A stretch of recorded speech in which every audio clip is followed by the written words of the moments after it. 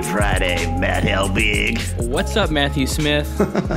I'm in a funny mood. Dude, it's good to, to be back here. It's good to be looking at this crazy, crazy hacking finance email that caused a little bit of conversation in our Slack channel this week. this one's definitely on the weirder side, and I guess we're fans, but we're, I think we're going to talk about why people might be a little up in arms about this one. Now, just to make sure that we're both on the same page, we both did just take a bunch of ayahuasca, right? Yeah, I've I've been microdosing for a while, so Okay. Okay. So that's why this email looks this way, mm-hmm. correct? Yes. Okay. Just just triple checking. Cool. So do you want to start with telling a little bit about like the kind of internal controversy we were having about this email? Well, you know, you get something like this in your inbox and it definitely catches your eye. And I think it really kind of goes against the idea that, you know, email has very specific rules that need to be followed. And this is how a newsletter works and it has to fit in this grid. But I think when you tell, you know, non email people to maybe try to do a funky email, this is kind of the outcome.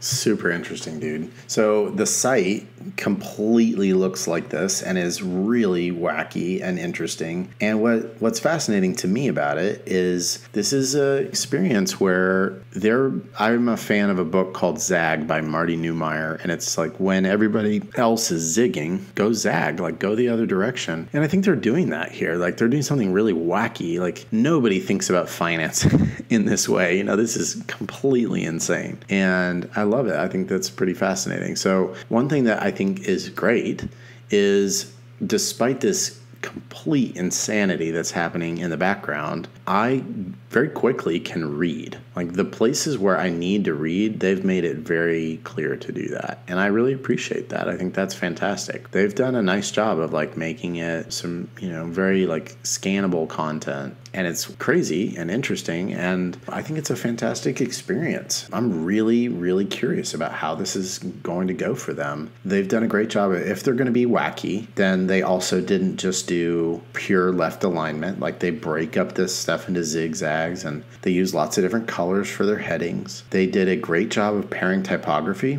getting big bold headings, and then, you know, a nice little byline, and then this body copy. And um, I think one thing that isn't completely clear is that this is the link in the the scannable reading area. Um, so maybe underlining that, or maybe like in addition to that, providing a read about hacking finance movement, stop doing stupid stuff, like whatever you want to say in in your secondary CTA. If you did have a secondary CTA, my preference is when people don't just say read more and they don't repeat like the heading, but instead like they allude to what's coming in the rest of the article. That's my favorite. So yeah, I mean, I think you look on on mobile, it just looks fun and crazy and weird. I think for me, mobile is definitely the better experience. Um, one interesting note, I think if I think I looked at this in Outlook, where uh, image backgrounds maybe not have the best support, but for those image backgrounds, they're picking the one color from that general image to use as the image background, and I almost think that actually might look a little better. Actually, I think these crazy backgrounds definitely work on mobile because you kind of like see them sort of peeking through.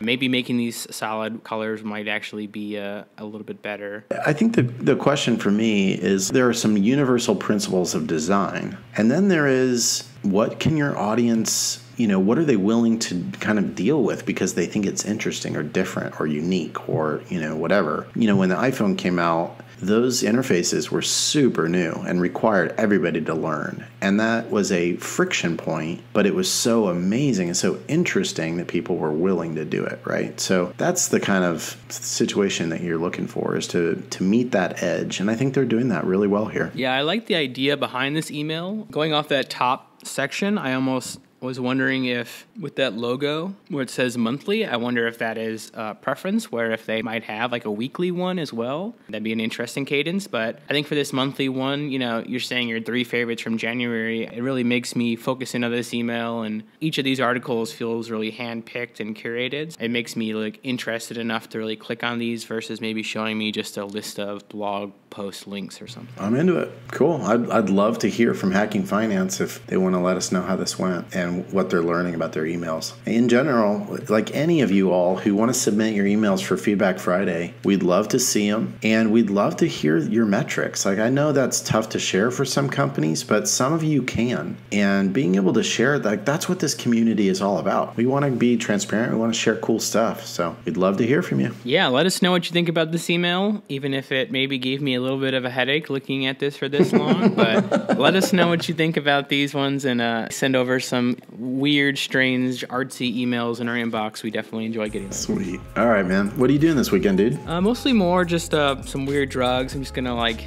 figure things out. I'm gonna definitely uh, bury myself in the sand and take you know dose up on some acid and then have my eyelids peeled back and let the sun scorch them a little bit see if i can get a vision I think I saw that like on Goop or something. yeah i think uh, gwyneth is really into that kind of stuff Yeah, it sounds like a good detox, really. So enjoy your weekend, Matthew. you too my bud see you bud See ya. Bye. You have any feedback on the series, please leave a comment down below. Hit subscribe to keep up with future episodes. Thank you for giving a listen and letting our sponsors know you love really good emails.